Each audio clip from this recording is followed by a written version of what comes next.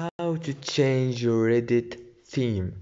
Hello guys in today's video i'm gonna show you how to change your reddit theme. So the first thing we do is we go to reddit and then click in the top corner click on your avatar and after that click on settings. And now go down to dark mode.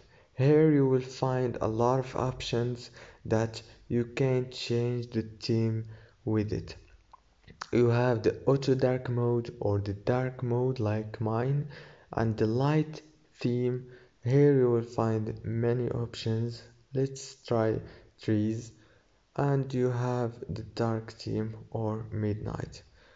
And that's it for today's video guys. Don't forget to like and subscribe for more educational videos thank you for watching. To the end